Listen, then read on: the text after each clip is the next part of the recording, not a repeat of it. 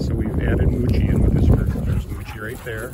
We've got the puppy Thor, Cooper, the brown colored dog, and then the dark colored dog with the blue collar is AJ.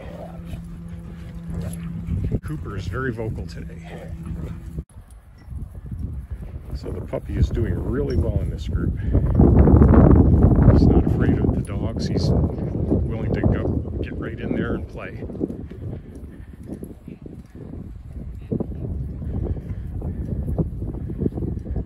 So Cooper and Moochie have actually been out about 45 minutes. We're gonna put them back in here real quick. Bring out some other dogs.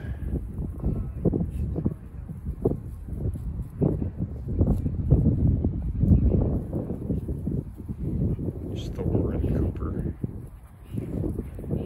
In the harness there, and AJ with the blue collar.